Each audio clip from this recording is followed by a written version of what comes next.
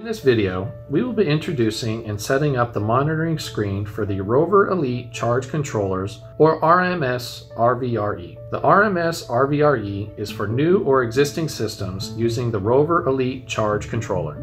The RMS RVRE is a high precision meter featuring a backlit display and four key input buttons for easy navigation. It is shipped with a 16.4 foot RJ45 communication cable M3 mounting screws, and a paper manual. It is exclusively for the Rover Elite 20 amp and 40 amp charge controllers and connects to their RS485 port.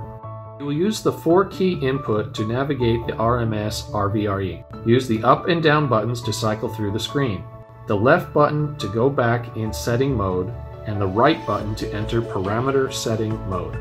For the purpose of this video, we'll be connecting the RMS RVRE to an existing system consisting of a 100 watt solar panel, a 20 foot adapter kit, a 20 amp Rover Elite, and an 8 foot gauge tray cable connected to a 100 amp hour smart lithium battery.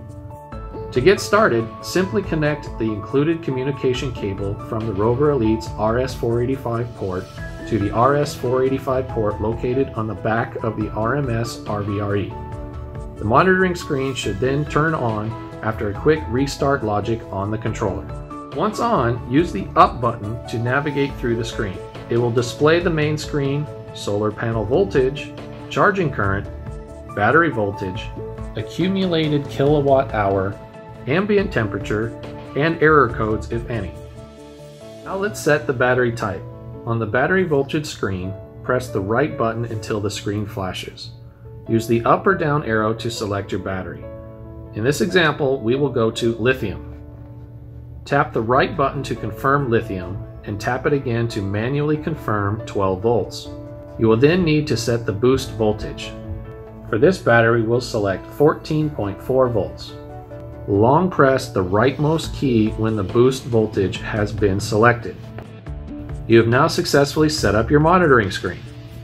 The monitoring screen will be flush mounted. You will release the four snap fit joints and remove the front cover. Next, cut out a rectangular area and pre-drill four holes on the mounting surface using the monitoring screen as a template. Make sure to leave some space for the communication cable. Lastly, affix the monitoring screen on the mounting surface using the included screws for a flush mount finish and then reattach the front cover to the monitoring screen. We hope this video has helped you familiarize yourself with Renogy's monitoring screen for Rover Elite charge controllers. For any other questions regarding the unit, please give our support team a call or submit a ticket on support.renogy.com. You can find our contact information below. Thank you for purchase and have a wonderful day.